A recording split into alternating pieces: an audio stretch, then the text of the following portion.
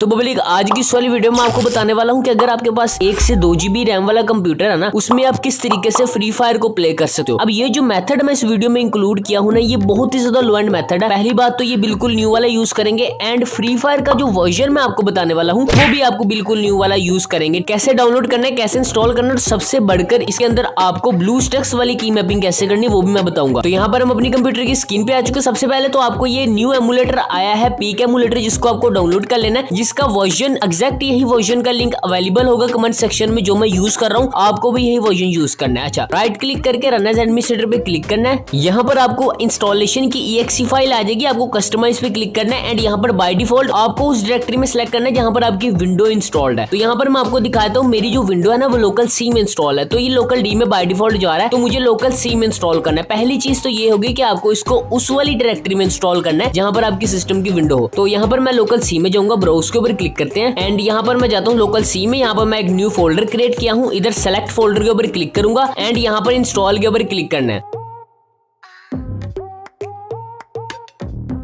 तो यहाँ पर मुझे कुछ इस तरीके का नेट केबल का एरर आ रहा है। आपको हो सकता है ये एरर ना आए। ठीक है, मेरा इसलिए आ रहा है क्योंकि मैंने ऑलरेडी इसको इंस्टॉल किया था। पहले भी ये एरर आ रहा था। अगर आता है तो आपने इसको कैंसिल कर देना।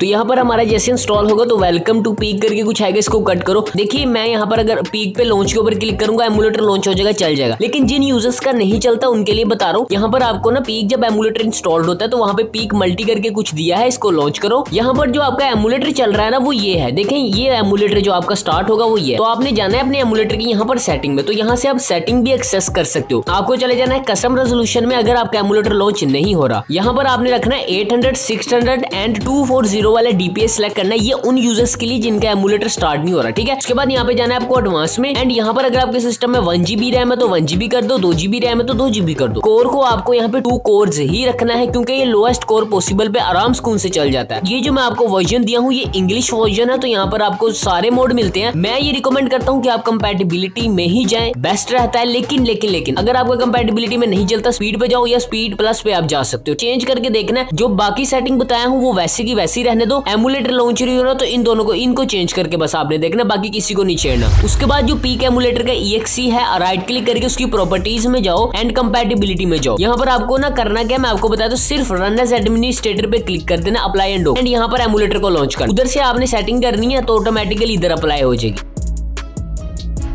तो यहाँ पर ना आपका एमुलेटर इंस्टॉल्ड हो जाएगा। ठीक है, देख सकते हैं इंस्टॉल हो चुका और बहुत प्यारा इसका यूआई है। अभी आपको क्या करना है, इसके अंदर गूगल प्ले स्टोर को यूज़ नहीं करना, क्योंकि गूगल प्ले स्टोर से यार ये हैंग होता है। अगर आप जिस भी एमुलेटर में फ्री फायर करें कभी भी गूगल प्ले स्टोर को यूज़ मत करें, अपनी आईडी को जो है ना फेसबुक पे मूव कर ले पब्लिक तो इसके लिए आपको जाना है टूल्स में एंड यहाँ पर आपको जाना है सेटिंग में एप्स का, इसके ऊपर क्लिक करो एंड यहाँ पर जो जो ऐप मैं आपको बताया हूँ, इसको डिसेबल करो। सबसे पहले ईमेल फोर स्टॉप करो एंड डिसेबल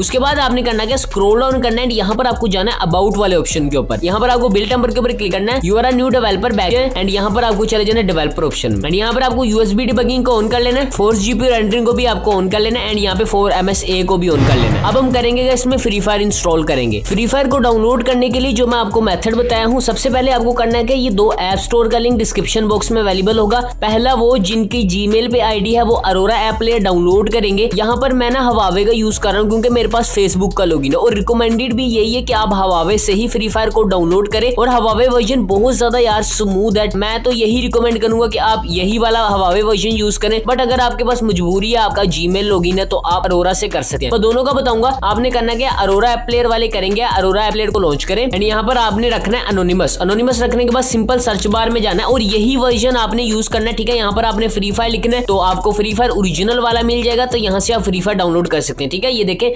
ओरिजिनल वाला फ्री फायर दूसरा भी ओरिजिनल वाला है, मैं दूसरे वाले यूज़ करूँगा, उसमें गेम हमारा लैग नहीं होता। जो मैं मेथड यूज़ करने वाला हूँ, वो है ऐप गैलरी वाला। आपने इसमें जाना है एंड यहाँ पर आपको एक इंस्टॉलर आएगा, इसको इंस्टॉल करें। तो यहाँ पर हमारा एप्लीकेशन डाउनलोड हो चुका है, ये कोर करके कुछ एप्लीकेशन आएगा, ये इसी का अपना एप्लीकेशन है तो आपको इसको इंस्टॉल कर लेना है एंड यहाँ पे इसको डन कर देना है।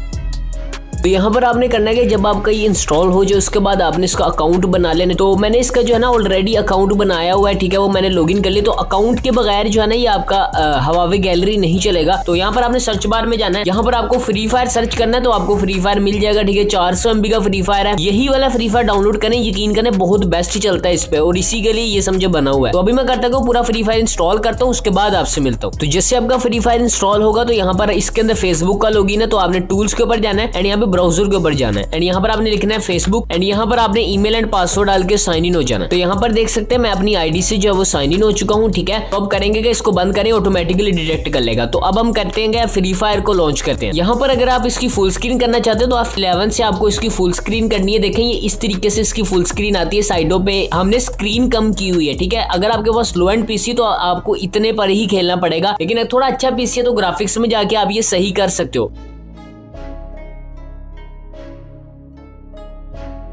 तो यहाँ पर जैसे आपका फ्री फायर चलेगा आपको जाना है अपनी सेटिंग में एंड यहाँ पे ग्राफिक्स में जाके इसको स्मूथ कर देना ठीक है? इसमें स्मूथ बहुत ज़्यादा मज़े का चलता है यार ठीक है? यही वर्जन पे। एंड यहाँ पर आप देख सकते हैं फ्री फायर हमारे पीसी में चल चुका है कितना ज़्यादा स्मूथ यहाँ पर चल रहा है। अब हम करेंगे इसकी की मैपिंग की मैपिंग के लिए आपको जाना सेटिंग में कंट्रोल्स में एंड यहाँ पे कस्टम के ऊपर क्लिक करना है। एंड यहाँ पे कीबोर्ड वाले ऑप्शन के ऊपर क्लिक करें। यहाँ पर आपको बाय डिफ़ॉल्ट के ऊपर क्लिक करके यहाँ पर न्यू के ऊपर क्लिक करके एक लेआउट बना लेना। मैं कस्टम बनाया हूँ इस पे क्लिक करो। तो, तो यहाँ पर हम करते हैं इसकी की मैपिंग कर लेने के बाद आपसे मिलते हैं।